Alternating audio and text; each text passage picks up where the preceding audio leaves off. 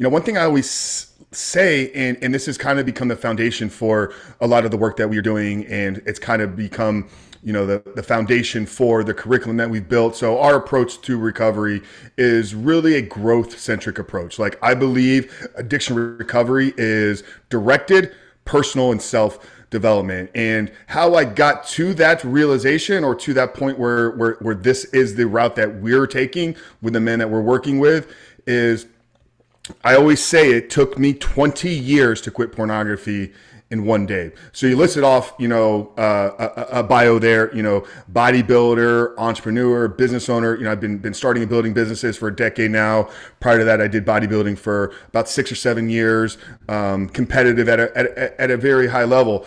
But while I was chasing a lot of these high performance, you know, things in my life, you know, I've always been into podcasting. I've always been into reading and kind of growing myself. So that was kind of one area of my life was like chasing greatness, you know, trying to become the mm. best at everything I was possibly doing. While that was going on, I was I was living a secret life. I was living a double life.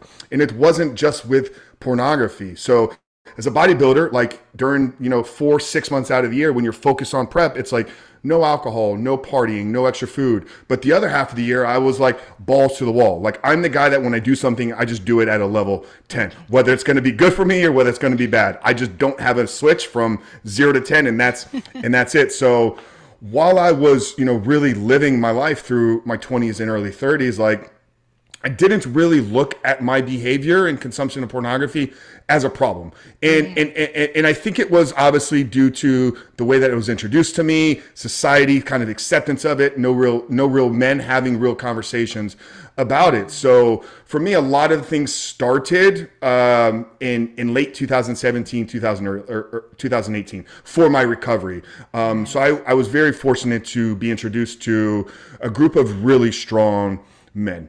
Um, just men that I hadn't been been around for the first 35 years okay. of my life. These are guys who are you know they're believers. So I'm a Christian, and and this has come to me in these last handful of years, and my faith is now really at the center of my life. And it plays roles in in the recovery side, but getting around some real strong influential men showed me some areas in my life where I wasn't living up to the standards that I thought I had. So it's interesting because it wasn't like I, I, I did anything magical. I don't really feel that like for me it wasn't a hard path to recovery. My recovery was realizing a number one that I wasn't living up to the standards that I thought I was presenting to the world. Secondly, it was the acceptance of Christ into my life was was big. But thirdly, it was realizing like that just because you've been doing something your entire life doesn't mean it hasn't had negative impacts on you. So I began to kind of look at pornography, porn addiction, the research. There's a great book called Your Brain on Porn by by Gary Wilson.